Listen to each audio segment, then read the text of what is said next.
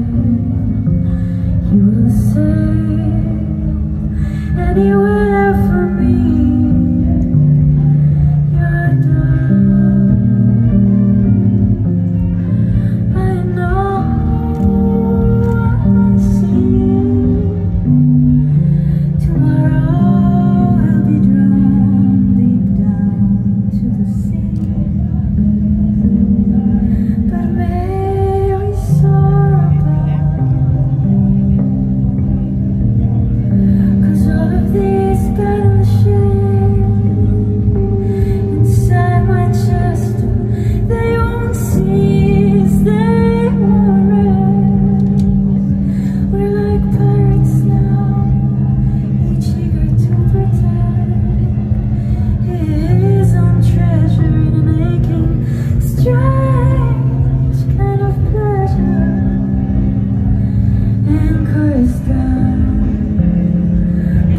the ground.